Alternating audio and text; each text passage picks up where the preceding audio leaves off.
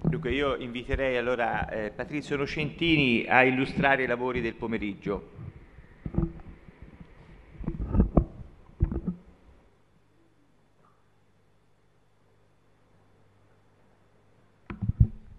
Operativamente, eh, voi, voi, penso tutti, se poi qualcuno l'ha fatto eh, lo deve fare, vi siete iscritti ai quattro gruppi di lavoro, alcuni lo avevano già fatto mandandoci le mail nei giorni scorsi.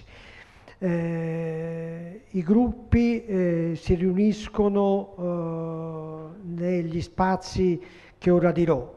Allora, il gruppo eh, sugli stili di vita, che è quello più numeroso, per ora sono registrate 27 iscrizioni, viene condotto da Luisella Marianelli, il rapporter, scusate ma è venuta fuori questa parola suggerita da qualcuno, eh, che è eh, uno dei quattro direttori di zona per quanto riguarda gli stili di vita è Aldo Babbanini, si riunisce nel piano di sopra. Ripeto, il gruppo di lavoro sugli stili di vita e incidentalità. Il gruppo di lavoro su famiglie minori, condotto da Gianna Nicaso eh, con eh, il direttore Fabrizio Boldrini, si riunisce nel piano di sopra, sono previsti per ora 13 iscritti.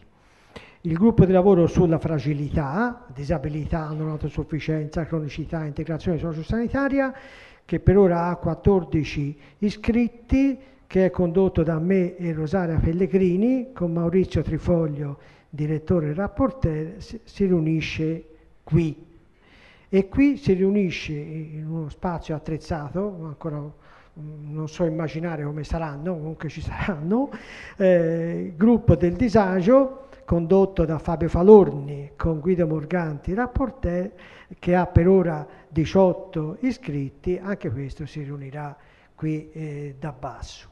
Eh, il conduttore presenterà eh, in un eh, modello format uguale per tutti e quattro i gruppi, le prime due slide con i dati eh, eh, epidemiologici e, e qualcos'altro eh, derivanti eh, prevalentemente ma non solo dai profili di salute. In questo caso colgo l'occasione per ringraziare Massimiliano Falorni e Simug che fino a alle ore del, eh, serali di, di, ieri ha lavorato su questi dati ed è riuscito a uh, concentrarli in due slide per ogni area tematica e vedrete che ci sono dei dati anche nuovi eh, desunti da uh, rapporti epidemiologici e statistici più, uh, più recenti.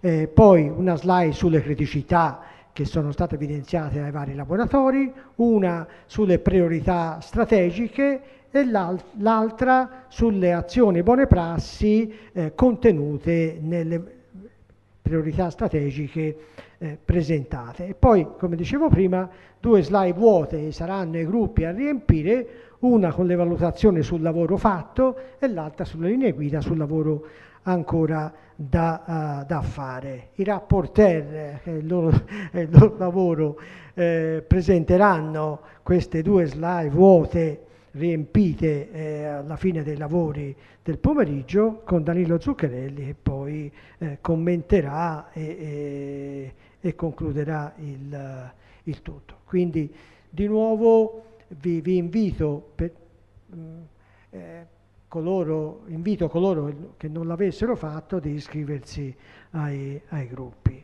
Troverete negli spazi i cartelli con l'intestazione. Grazie.